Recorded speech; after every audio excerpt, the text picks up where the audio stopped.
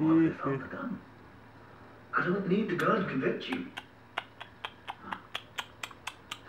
Tell me something. Dear. Does it bother you that I call you Willie? No. Dear. No. Willie. Willie, I'd like you to consider becoming my lawyer.